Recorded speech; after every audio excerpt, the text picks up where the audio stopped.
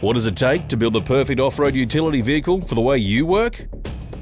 For starters, you'll need a heavy-duty one-piece chassis, the most powerful diesel in the category, and an all-new powertrain that doubles the service interval.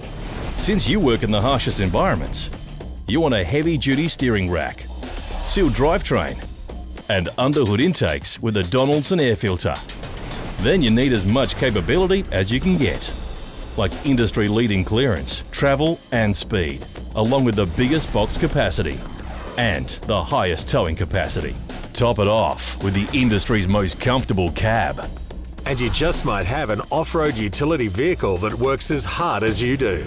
Introducing the all-new Ranger Diesel, the perfect off-road utility vehicle for the way you work.